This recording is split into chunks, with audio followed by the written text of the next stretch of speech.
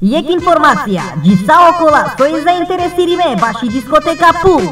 Некој пенена дека и забавата ни одложими баш романо концерти, а да не тачно. И забава, као држина од 28 недела, та робишоа. Исто ага, цар со најавин гемки реклама, специјално гости, а да ја ратумен цар, обернати. Дали о живото киргјато посекно,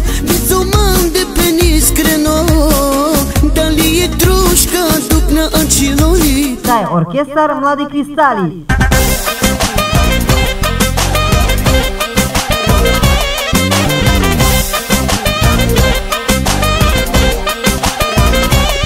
Тоа казава Винелтумен прекрасно диџеј. Овлез како Штинелтумен само 100 денари.